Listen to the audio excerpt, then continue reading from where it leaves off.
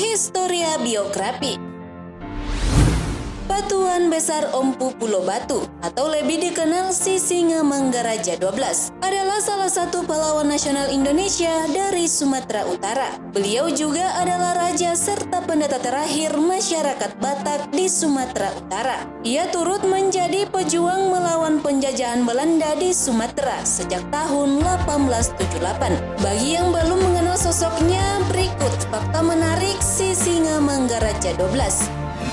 Tapi sebelum lanjut, kami ingatkan kembali untuk subscribe channel ini dan aktifkan lonceng notifikasi kamu untuk mendapatkan info dari Historia Biografi.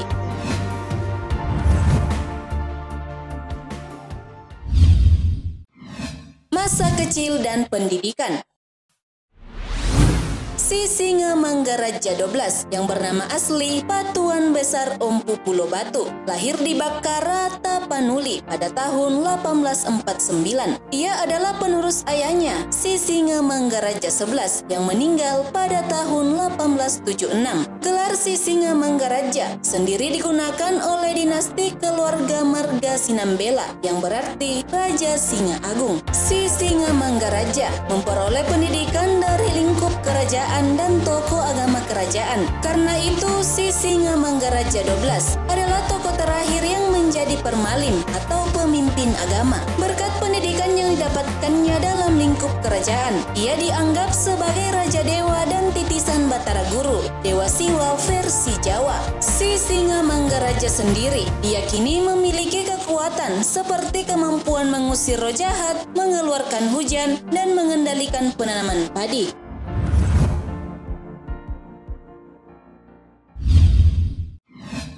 Sang Raja Singa Agung yang naik tahta.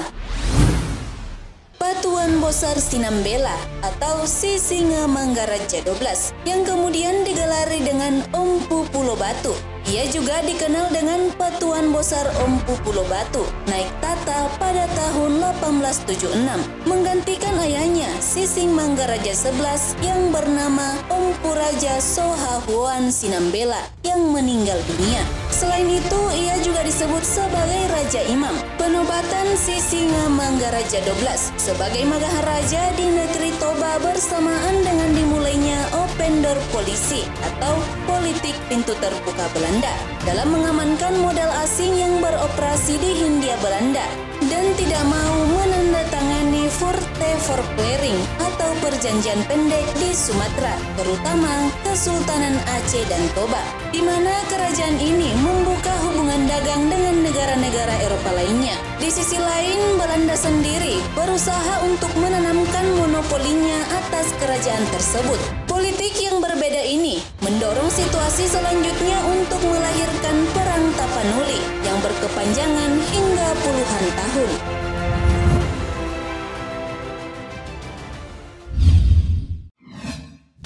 Singa menolak kristenisasi di tanah Batak saat Raja-Raja Huta Kristen Batak menerima masuknya Hindia Belanda ke tanah Batak. Sementara Raja Bakara, si Singa Manggaraja, yang memiliki hubungan dekat dengan Kerajaan Aceh menolak dan menyatakan perang. Tidak hanya menyatakan perang, si Singa Manggaraja 12 sebagai raja juga menolak adanya upaya penyebaran agama Kristen yang dilakukan oleh para misionaris Belanda di wilayah Batak. Hal ini disebabkan karena si Singa Manggaraja khawatir kepercayaan dan tradisi animisme rakyat Batak akan terkikis oleh adanya perkembangan agama Kristen. Upaya penolakan ini dilakukan dengan cara mengusir sending atau organisasi penyebar agama Kristen yang memaksakan agama Kristen kepada rakyat Batak pada tahun 1877.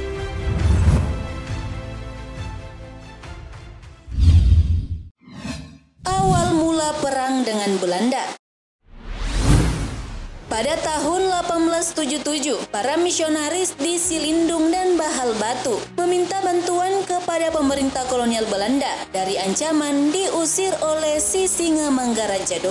Kemudian pemerintah Belanda dan para penginjil sepakat untuk tidak hanya menyerang markas Sisinga Manggaraja 12 di Bakara, tetapi sekaligus menaklukkan seluruh Toba. Pada tanggal 6 Februari 1878, pasukan Belanda sampai di Piraja, tempat kediaman penginjil Ikwer Ludwig Nomensen. Kemudian beserta penginjil Nomensen dan Simoid, seluruh penerjama pasukan Belanda terus menuju ke Bahal Batu untuk menyusun benteng pertahanan. Namun kehadiran tentara kolonial ini telah memprovokasi si Singa Manggaraja 12 yang kemudian mengumumkan pulas atau perang.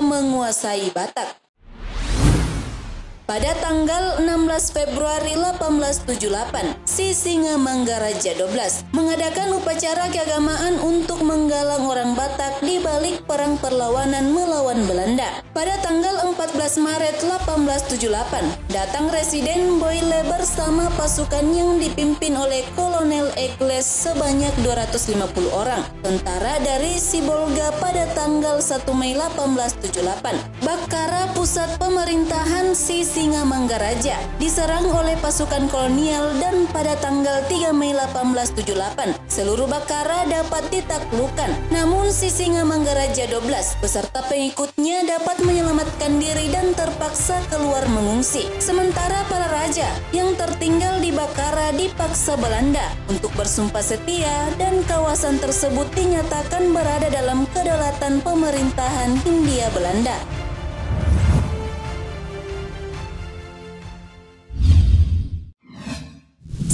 Sang singa bergerilya karena daerah Sisinga Manggaraja 12 telah ditaklukkan, Sisinga Manggaraja tidak mau tunduk dengan Belanda, maka beliau bersama pasukannya terpaksa bergerilya. Pasukan Sisinga Manggaraja 12 menyerang pos-pos Belanda di Bakal Batu Taruntung, namun mengalami kekalahan. Ia pun berkumpul kembali dan melancarkan serangan baru pada tahun 1883 hingga 1884 dengan mendapat bantuan dari Aceh. Mereka menyerang Belanda di Uluan dan Balige pada Mei 1883 serta Tangga Batu pada 1884. Belanda sendiri menyiksa dan membunuh orang Batak yang diduga menjadi pengikut dari Sisinga Manggaraja 12. Pasukan Belanda juga membakar rumah serta mengenakan pajak hukuman. Pada tahun 1904, pasukan Belanda di bawah Letnan Kolonel Gottfried Cornet Ernest van Dalen yang menyerang Tanah Gayo dan beberapa daerah di sekitar Danau Toba untuk mematahkan perlawanan Batak. Pasukan dari Sisinga Manggaraja 12 sendiri melakukan perang gerilya serta menghindari pasukan Belanda sebelum Belanda melancarkan serangan lagi pada tahun 1907 terhadap sisa pasukan Sisinga Manggaraja 12 di wilayah Toba. Mereka memperkuat pasukan dan senjata. Pertempuran selanjutnya antara Belanda dan pasukan Sisinga Manggaraja 12 pun terjadi di Pakpak. Pasukan Belanda dipimpin oleh Kapten Hans Christoffel.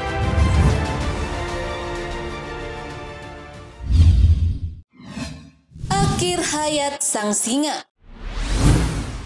pada 17 Juni 1907, si singa Manggaraja 12 tewas dalam peperangan di Dairi bersama putrinya Lopian dan kedua putranya, Patuan Nagari dan Patuan Anggi. Ia disergap oleh sekelompok anggota dari pasukan khusus Belanda, Korps Morsose. Ia menghadapi pasukan Korps Morsose sembari memegang senjata pisau gajah dompak. Kopral Suhoka, pasukan Belanda yang merupakan penembak jitu, mendaratkan tembakannya ke kepala si singa Manggaraja 12 tepat di bawah telinganya. Menjelang napas terakhir, dia tetap berucap ahu si singa Manggaraja. Turut gugur waktu itu dua putranya, Patuan Nagari dan Patuan Anggi, serta putrinya yang bernama Lopian. Sisingamangaraja 12 sendiri kemudian dikebumikan Belanda secara militer pada tanggal 22 Juni 1907 di Silundung. Sebelum dikebumikan mayatnya diarak dan dipertontonkan kepada masyarakat Toba. Makamnya kemudian dipindahkan ke makam pahlawan nasional di Soposurung, Balige pada 14 Juni 1953 yang dibangun oleh pemerintah. Berdasarkan surat keputusan Presiden nomor 590 pada tanggal 19 November 1961, si Singa Manggaraja 12 dikukuhkan sebagai pahlawan kemerdekaan nasional. Selain itu, nama si Singa Manggaraja juga diabadikan sebagai nama jalan di seluruh kawasan Republik Indonesia. Kasih telah menonton video ini. Jangan lupa like and share serta sampaikan kritik dan saranmu di kolom komentar. Sampai bertemu kembali di video Historia Biografi selanjutnya.